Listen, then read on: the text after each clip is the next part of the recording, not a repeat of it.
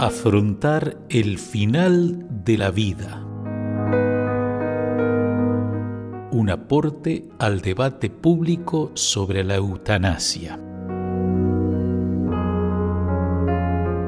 La dignidad de la persona se fundamenta en el mismo hecho de pertenecer a la especie humana. La vida de cada persona es bella, única, irrepetible e insustituible. Además es limitada. La acompañan diversos sufrimientos y también la muerte.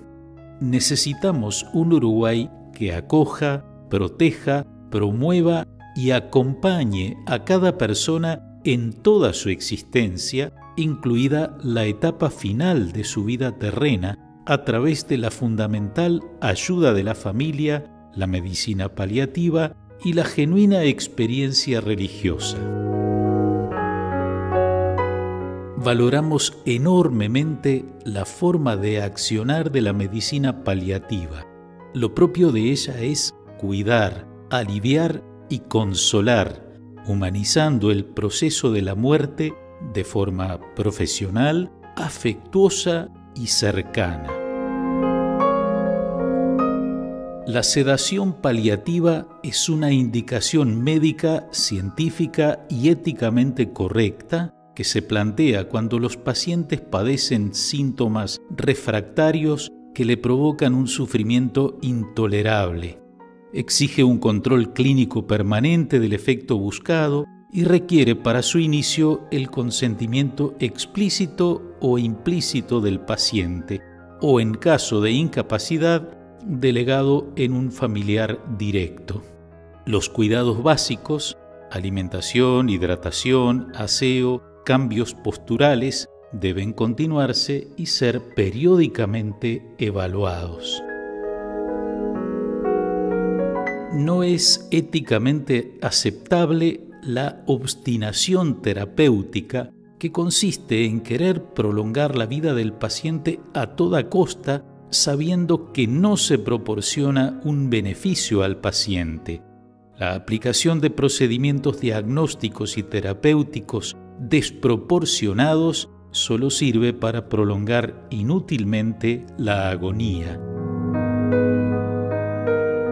Tampoco es éticamente aceptable causar la muerte de un enfermo, tal como se establece en la Asociación Médica Mundial y en el Código de Ética Médica, Ley Uruguaya 19.286 de 2014, en su artículo 46, la eutanasia activa, entendida como la acción u omisión que acelera o causa la muerte de un paciente, es contraria a la ética de la profesión el médico nunca debería ser partícipe de una conducta que cause activamente la muerte a otro ser humano.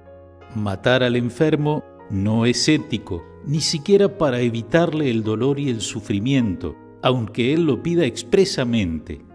Sí, la sedación paliativa, como se mencionó previamente ni el paciente, ni el personal sanitario, ni los familiares tienen la facultad de decidir o provocar la muerte de una persona.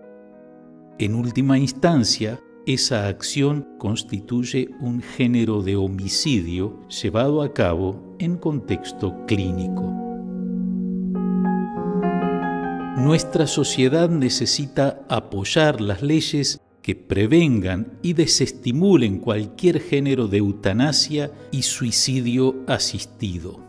Valoramos las leyes que han permitido el acceso universal a programas de salud mental, a la medicina paliativa y al Sistema Nacional de Cuidados, pero aún es preciso desarrollar programas que faciliten su cumplimiento y la accesibilidad real a toda la población. Jurídicamente, un proyecto en favor de la eutanasia y el suicidio médicamente asistido implica cambiar el valor absoluto de la vida humana y su carácter de derecho humano fundamental, indisponible e irrenunciable contra la Constitución y los derechos humanos. Se induce a error y se abre la puerta a una cadena de violaciones de la dignidad de la persona humana cuando se pretende legalizar la eutanasia y la asistencia al suicidio mediante el uso de términos genéricos tales como sufrimientos insoportables y cuando se los quiere justificar con conceptos vagos como autonomía absoluta, vida indigna de ser vivida, muerte digna, ninguno de estos términos tienen interpretaciones claras y unívocas. La experiencia en otros países demuestran que terminan dando lugar a diversos abusos. En las enfermedades graves, y más aún cuando probablemente se acerca la muerte, las personas se encuentran por lo general especialmente necesitadas y deseosas de múltiples apoyos, así como de asistencia religiosa, se trata de un hecho coherente con la naturaleza espiritual del ser humano constatado a nivel sociológico. La Iglesia, servidora de la humanidad, quiere ofrecer la luz de la vida eterna que emana de Cristo muerto y resucitado, capaz de llenar de amor, misericordia y esperanza las situaciones más complejas y en muchas ocasiones dolorosas de la existencia humana. Solo así podremos llegar con paz y dignidad a expresar en el momento final sentimientos confiados y palabras similares a aquellas de Jesucristo en su agonía. En tus manos, Padre, encomiendo mi espíritu. Como obispos del Uruguay, hemos querido hacer nuestro aporte en esta importante problemática moral. Invocamos la protección del Altísimo para que ilumine a los representantes del pueblo a fin de que legislen a la luz de la dignidad de la persona y los derechos humanos. Del mismo modo, pedimos a Dios que oriente y fortalezca al personal de la salud, a las comunidades cristianas y a las familias para que cuiden y respeten el valor incondicional de las personas que se acercan al final de la vida.